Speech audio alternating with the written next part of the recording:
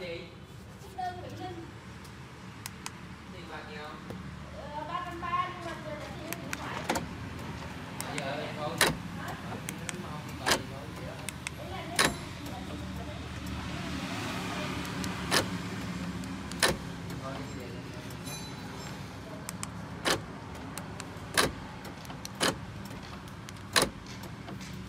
Được rồi anh.